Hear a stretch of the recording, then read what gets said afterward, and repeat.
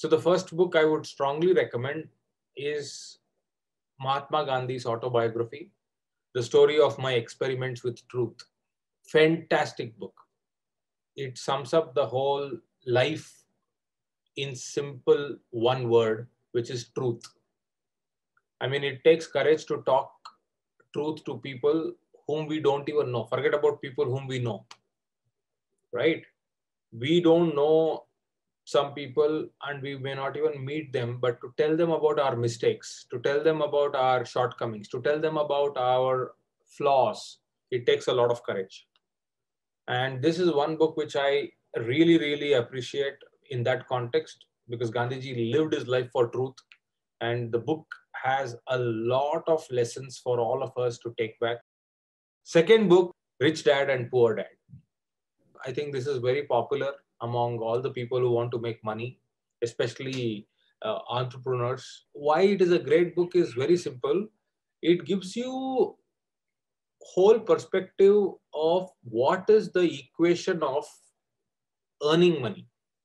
Third recommendation is Wings of Fire from Dr. Abdul Kalam. That book is very impactful for students who are below 24 people in that age 18 to 24 or 16 to 24 fantastic book. Then the fourth book and my favorite book the power of your subconscious mind. The reason i tell you that this book is a fantastic book is especially in the current time when covid is around when your mind is already busy with a lot of negative thoughts uh, depression uh, people around you are affected, your friends, your family members may be sick, or maybe some of them have even lost their relatives. This is a great book to read because it gives you energy from inside. My fifth recommendation A Whole New Mind by Daniel Pink. It gives you a futuristic approach about life. I mean, if you look at it, 2000 2004, 2006, around that time I read this, but it set the context for next 20, 30 years from 2005. That means some of the things which are told in that book is applicable even for the next 15, 20 years. Okay, it's not prediction, it's the way your mind can think. And it gives you a complete different contrast to what people used to think earlier and how things have replaced in the current generation, current century, a whole new mind.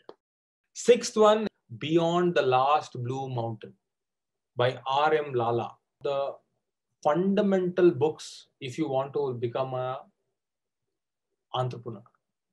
The true meaning of an entrepreneur is in that book, and that book is not about entrepreneurship, it's the life of J.R.D. Tata. So then uh, my uh, seventh, start with why, especially for you people who are figuring out your life who are trying to look forward for which profession, what passion, where is that I should spend my time, what should I do, others are doing this, what am I good at? I think that's a great book to start because it will take you deep within you by giving you a scientific process. It will give you the importance of why, why is important. And then you can figure out the how and the what. So the eighth book the Alchemist by Paul Coelho.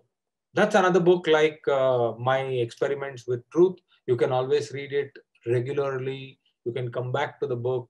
It can be your best friend. And the last book for my list today, the ninth book, is a book from Jack Canfield How to Get from Where You Are to Where You Want to Be.